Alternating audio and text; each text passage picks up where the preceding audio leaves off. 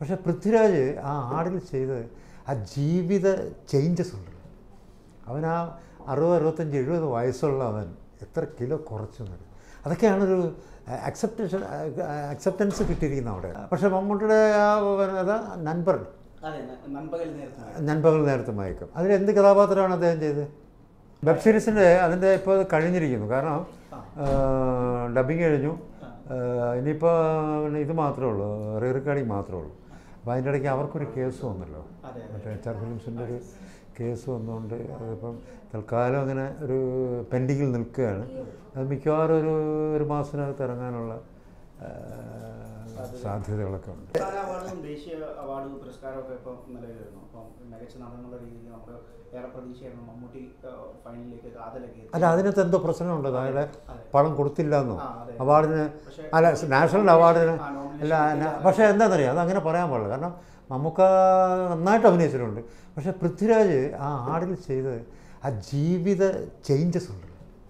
അവൻ ആ അറുപത് അറുപത്തഞ്ച് എഴുപത് വയസ്സുള്ള അവൻ എത്ര കിലോ കുറച്ചു എന്നറിയും അതൊക്കെയാണൊരു അക്സെപ്റ്റേഷൻ അക്സെപ്റ്റൻസ് കിട്ടിയിരിക്കുന്നത് അവിടെ.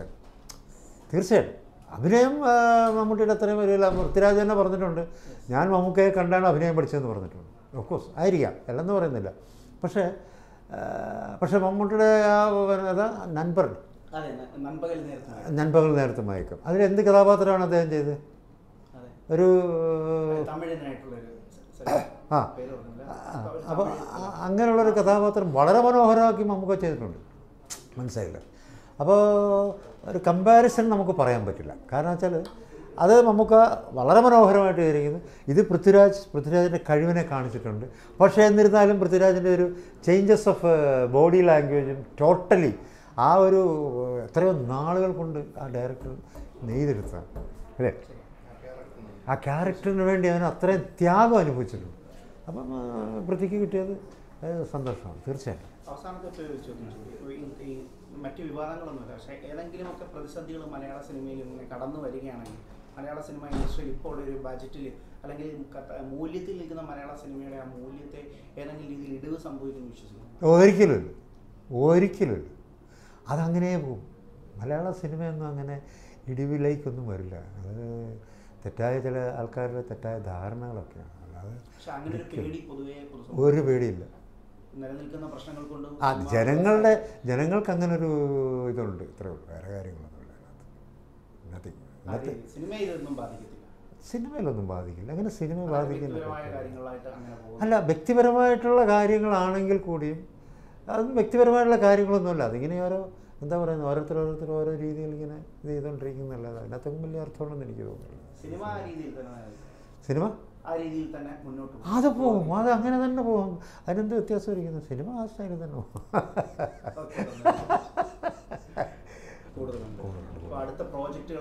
അടുത്ത പ്രോജക്റ്റുകൾ ഇപ്പോൾ ഒരെണ്ണം ഞാൻ ചെയ്തു. ദത്തമ്മ പൂച്ച പൂച്ച. അല്ല അല്ല, തത്തമ്മ കൊലക്കേസ്. പൂച്ച പൂച്ച. പിന്നെ ബാഡ് ബോയ്സ് എന്ന് പറഞ്ഞിട്ടുണ്ട് ഒരു പ്രോജക്റ്റ്. അത് ഷൂട്ടിംഗ് കഴിഞ്ഞു. അതിന്റെ ഇനി ഞാൻ ഞാൻ മാത്രമേ ഉള്ളൂ ഡബ് ചെയ്യാനാണ് എനിക്ക് തോന്നുന്നത് അപ്പോൾ ഇന്ന് നാളെയായിട്ട് തീർത്തിട്ട് പിന്നെ എന്റെ കസിന്റെ ഒരു പടം ഞാൻ ചെയ്യാൻ വെച്ചിട്ടുണ്ട്. ബിഗ് ത്രീ എന്നാണ് അതിന് പേരിട്ടിരിക്കുന്നത്. സബ്ജക്റ്റ് ബേസ് വരുമ്പോൾ ചിലപ്പോൾ അതേ സബ്ജക്റ്റ് തന്നെ പലരും ഇപ്പോൾ ചെയ്ത് കഴിഞ്ഞു അല്ലേ? അപ്പോൾ നേരത്തെ അനൗൺസ് ചെയ്തതാണ്. അതെ അതെ അതെ അതെ. അല്ല അപ്പോൾ അത് ആ സബ്ജക്റ്റിന് ചിലപ്പോൾ അങ്ങോട്ടും ഇങ്ങോട്ടും ചെറിയ ചെറിയ ചേഞ്ചസ് കൊണ്ടുവരും. കൊണ്ടുവന്നിട്ട് അത് ഷൂട്ട് ചെയ്യാനുള്ള പരിപാടിയിൽ ആസൂത്രണം ചെയ്ത് വെച്ചിട്ടുണ്ട്. ബിഗ് ത്രീ എന്നുള്ളത് ചിലപ്പോൾ പേര് ചിലപ്പോൾ മാറ്റാം. ചിലപ്പോൾ അത് തന്നെ ഇടാം. വേറൊരു സബ്ജക്റ്റ് ഇങ്ങനെ റെഡി ആയിക്കൊണ്ട് വരുന്നുണ്ട്. കോളുകളൊക്കെ ഒന്നും പറഞ്ഞു. അത് അതിപ്പോൾ ഒന്നും പറയാനില്ല കാരണം വെച്ചാൽ സബ്ജക്റ്റ് രാമൻ വിശ്വനാഥൻ എന്നും പറഞ്ഞ അതിനും ഞാനും കൂടെ എഴുതി എഴുതിയ ഒരു സബ്ജക്റ്റാണ് പക്ഷെ അത് കുറച്ച് എലാബറേറ്റ് ആയിട്ടാണ് എഴുതിയിരിക്കുന്നത്. പക്ഷേ ഇപ്പോഴത്തെ ഒരു സെറ്റപ്പ് വെച്ചിട്ട് ആ. അപ്പോൾ അത് ഇപ്പോഴത്തെ ഒരു കാറ്റഗറിയിലേക്ക് കൊണ്ടുവരാൻ ശ്രമിച്ചുകൊണ്ടിരിക്കുകയാണ്. കാരണം പഴയ കാലത്തുള്ള ഇപ്പോൾ ജയൻ അഭിനയിച്ച് തീർന്ന ആ ഒരു സബ്ജക്റ്റ് നമുക്ക് ഇപ്പോൾ കൊണ്ടുവന്നാൽ ചിലപ്പോൾ ജനങ്ങൾക്ക് ഇങ്ങോട്ട് രസിക്കും എന്നുള്ളൊരു തോന്നൽ എനിക്ക് തോന്നുന്നില്ല. ബട്ട് എന്നിരുന്നാലും ജയന്റെ ഒരു ക്രൈസ് അവിടെ കിടപ്പുണ്ട്. ദ ക്രൈസ് ഈസ് ദ അല്ലേ? ആ ക്രൈസ് വെച്ചിട്ട് ഒരു വെറൈറ്റി രീതിയിലുള്ള തൊട്ടാടി അങ്ങനെയുള്ളൊരു സാധനത്തിലേക്ക് നമ്മൾ കയറുകയാണ്. ഒരു ഒരു എന്താ പറയുന്ന ഒരു ആറ് ഫൈറ്റ് ഒരു ആറ് പാട്ട്. കുറച്ച് ഫാമിലി സെറ്റയർ പിന്നെ ഒരു ക്ലൈമാക്സ് ക്ലൈമാക്സ് എന്ന് പറഞ്ഞാൽ അത് ഇതുവരെ ഒരു പടത്തിലും കാണാത്ത രീതിയിലുള്ളൊരു ക്ലൈമാക്സ് അതാണ് അതിനകത്തൊരു ഇതായിട്ട് വന്നത്. അതും ഇങ്ങനെ ഡിസ്കഷൻ നടന്നുകൊണ്ടിരിക്കുന്നൊരു വഴിയിലാണ്. പണ്ടേ ഇത് തുടങ്ങിയതാണ്. പക്ഷെ പല സാഹചര്യങ്ങൾ കൊണ്ട് അത് മാറി മറിഞ്ഞൊക്കെ പോയി അത്. അറിയാമല്ലോ സിനിമ എന്ന് പറഞ്ഞാൽ നമുക്കറിയാമല്ലോ അല്ലേ? ഒരു ഡിഫറെന്റാണ് അതെ. അയാളുടെ ജീവിതത്തിലും നമ്മുടെ ജീവിതത്തിലും നമ്മൾ നമ്മുടെ നമ്മൾ വിശ്വസിക്കുന്ന ദൈവവും അവൻ വിശ്വസിക്കുന്ന ദൈവം ആരോ ആയിക്കോട്ടെ. അതിനെപ്പറ്റി നമുക്കൊന്നും പറയാനില്ല. ഓരോരുത്തർക്ക് അവരുടേതായിട്ടുള്ള വിശ്വാസത്തിൽ കൂടിയാണ് അവർ പോകുന്നത്. പക്ഷേ ഇതെന്ത് എന്ത് എന്തെങ്ങനെ എവിടെ ചെന്ന് അവസാനിച്ചാലും ഏത് ദൈവത്തെ വണങ്ങിയാലും ഇതിനൊക്കെ മുകളിൽ അപ്പറായിട്ടൊരാളുണ്ട് അതാരാണെന്ന് പറയാം? പറയാം. അത്? അല്ല അതായത് നമ്മൾ ഇപ്പം നിങ്ങൾ വണങ്ങുന്ന നമ്മൾ ഹിന്ദുസ് വണങ്ങുന്ന ഒരു ദൈവം മുസ്ലിംസ് വണങ്ങുന്ന ഒരു ദൈവം ക്രിസ്ത്യൻസ് വണങ്ങുന്ന ഒരു ദൈവം. ഓക്കെ. അവരെല്ലാവരും നമ്മൾ ഓരോരുത്തർ ഓരോരുത്തർ വിളിക്കുന്നുണ്ട്. ചില ആൾക്കാർ എല്ലാം ചേർത്ത് വിളിക്കുന്നവരുണ്ട്. പക്ഷേ ഇതിന്റെയൊക്കെ മേളിൽ something is there what is there പറയാം. പീപ്പിൾസ് അല്ല. അതെങ്ങനെ പീപ്പിൾസ് ആണ്. നോ സത്യം. No. No no. No no അല്ല ദർ ഇസ് എ പവർ. ഒരു പവർ നമ്മുടെ മേളിലുണ്ട്. ശക്തി. ഒരു ശക്തിയുണ്ട്. അതിന് ഒറ്റ എക്സാമ്പിൾ പറഞ്ഞുതരാം. നമ്മൾ ഈ അഞ്ച് പേരിരിക്കുന്നില്ലേ ഈ അഞ്ച് പേരെന്താ ഒരുപോലെ ഇരിക്കാത്തത് so that power is play നമ്മൾ ഈ ഇത് ഭൂമി എന്ന് പറയുന്നത് എന്താണെന്നറിയോ? ഭൂമി ഒരു തട്ടാണ്.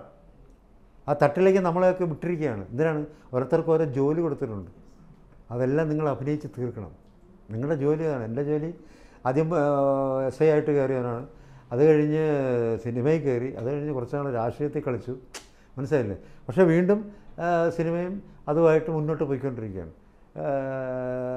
വിഷ്ണുവിന്റെ ജോലി എന്താണെന്ന് വെച്ചാൽ ഇതൊന്നുമല്ലാത്ത തുടങ്ങിയതേ താഴെക്കിടയിൽ നിന്നാണ് തുടങ്ങി വന്നത്. പക്ഷേ ഇപ്പോഴത്തെ പൊസിഷൻ എന്താണ്?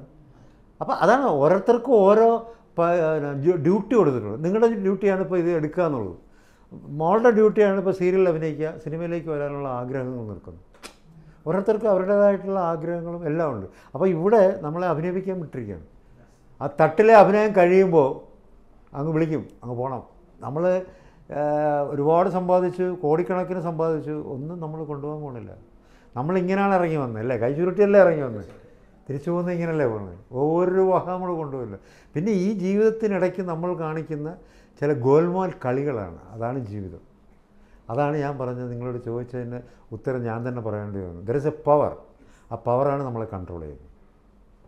അതെപ്പോഴും മനസ്സിൽ എന്തായാലും വളരെ സന്തോഷം.